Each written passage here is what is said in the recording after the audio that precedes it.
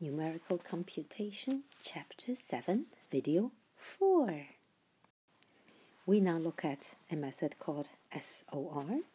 It's a, an abbreviation shorthand for successive over relaxation, a very fancy name.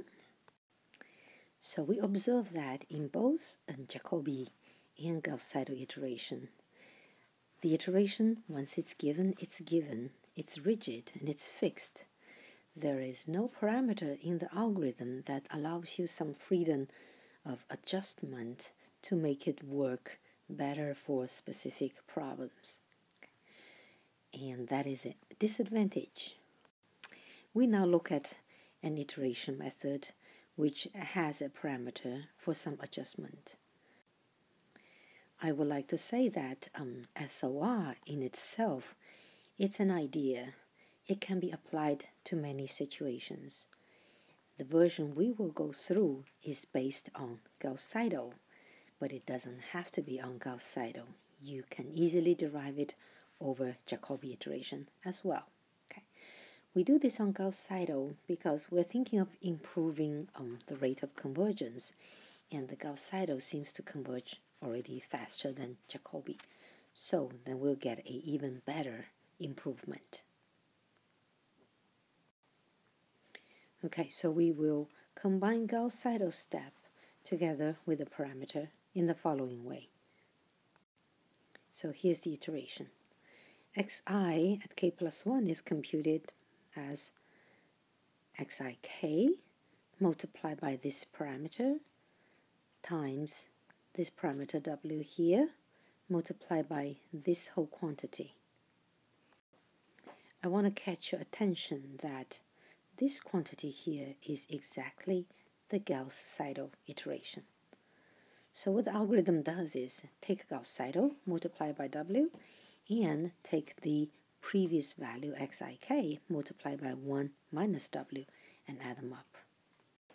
Now, if W is a value between 0 and 1, and then both coefficients here and here will be positive and add up to be 1, so this becomes some kind of a weighted average between xik and the Gauss-Seidel. Okay, so um, it becomes important how to choose this parameter w. So the parameter w here carries the name relaxation parameter. And the um, legal value for the w we can choose lies between 0 and 2. That's for convergence reason. It can be shown that it converges if you choose your w in that range. We note that if w equals to 1, then this guy is 0, right? So this is just gone, and w is just 1. And what do you have is just the Gauss-Seidel. And if w shall be between 0 and 1, then you are taking some kind of a weighted average between the previous value xik and with the Gauss-Seidel iteration.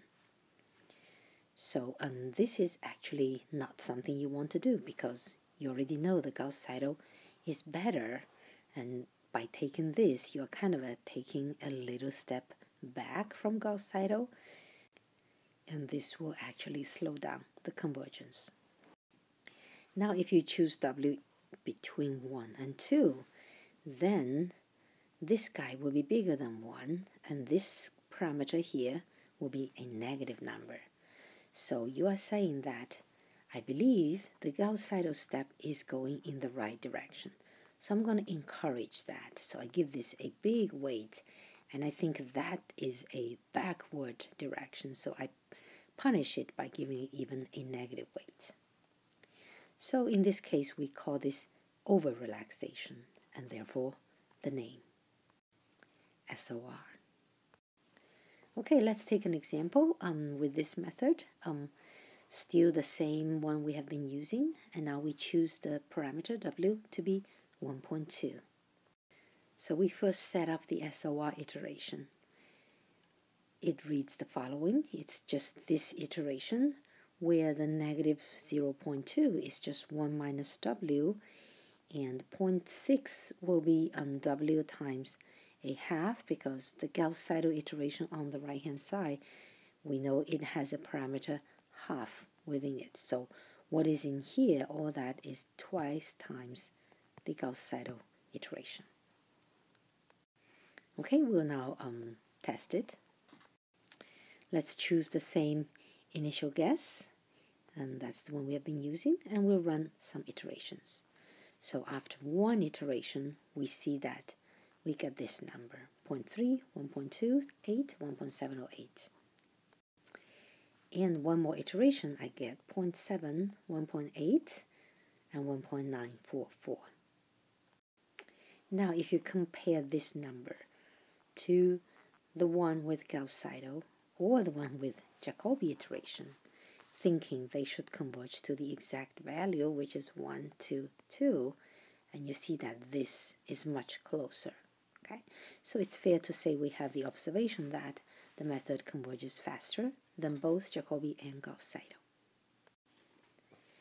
Okay, so after having learned all these three methods and observed their performance, and next time we'll have to do some analysis. So hope you enjoyed it and see you next time.